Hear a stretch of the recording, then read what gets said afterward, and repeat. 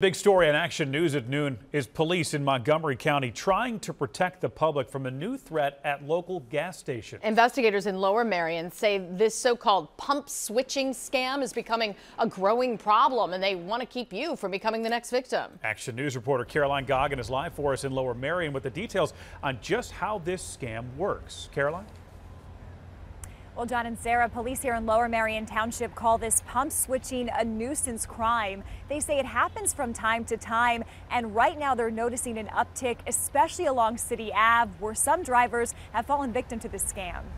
So the way that it works is they'll they'll take the pump out of your hand or offer to take it out of your hand and put it away for you, and then they'll keep the pump open and your credit card was in there when you swiped it. The next cars that come through, they'll walk up and say, "Hey, I'll pump your gas. Give me twenty dollars. I'll fill you up." Right? And so the next person through, if they give them $20 cash, they just charge it off until the pump stops working or your credit card fills up.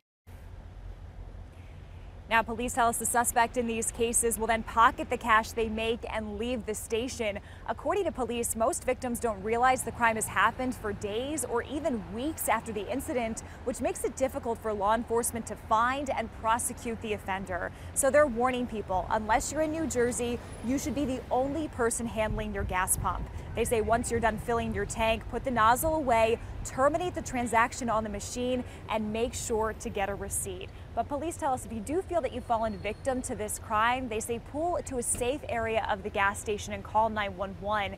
In regards to this recent uptick in this pump switching, police say they have identified at least one suspect they think may be involved, and they say that person has been involved in similar incidents in the past. We are live in Lower Merion Township. I'm Caroline Goggin, Channel 6 Action News. Sarah? Yeah, good to know ahead of time. Caroline, thank you.